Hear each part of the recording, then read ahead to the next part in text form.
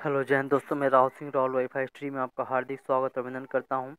जी हाँ दोस्तों, मैं एक महत्वपूर्ण सूचना लेकर के हाजिर हूँ, जैसा कि आपके स्क्रीन पर दिख रहा है सीआरपीएफ में होंगी, या कई सियार जवानों की भर्ती। जैसा कि आप लोग जानते हैं कि कि हमारे सशस्त्र सीमा बलों में लगभग पचपन हज़ार, चार, पचपन हज़ार वैकेंसी आ चुकी है।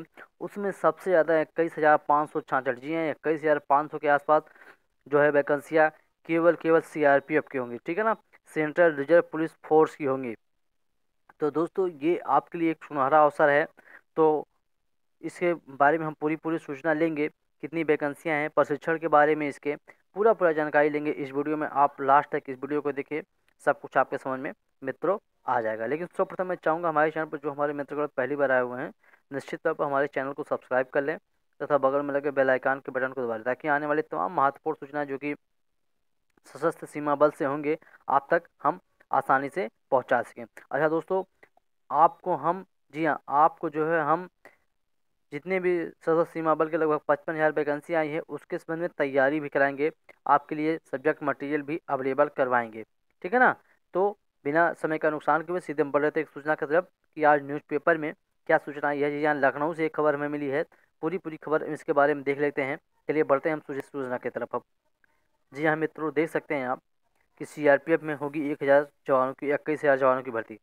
केंद्रीय रिज़र्व पुलिस बल, ठीक है केंद्रीय रिज़र्व पुलिस बल जल्द ही इक्कीस हज़ार पाँच सौ छियासठ कर्मियों की नियुक्ति करेगा, ठीक है ना?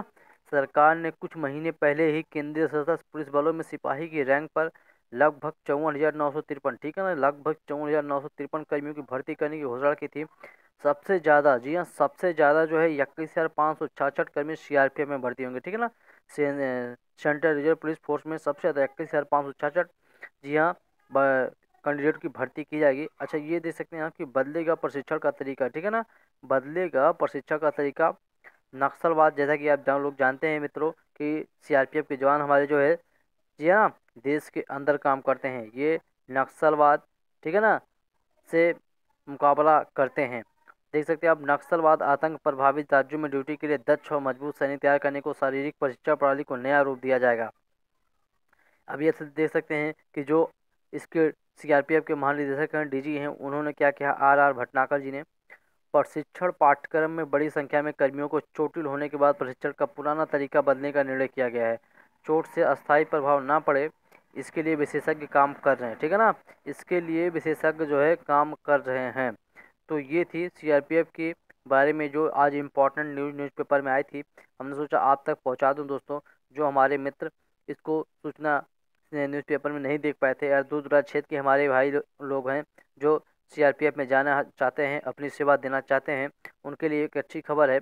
तो दोस्तों, निश्चित तौर पर हमारे चैनल से आप जुड़ जाइए। आपको हम सीआरपीएफ के जो भी एग्ज़ाम होने वाले हैं, उसके बारे में तैयारी भी कराएँगे, अच्छी तैयारी करवाएँगे, अच्छी अच्छी अच्छी से अच्छी सब्जेक्ट मटेरियल आपको अवेलेबल करवाएँगे।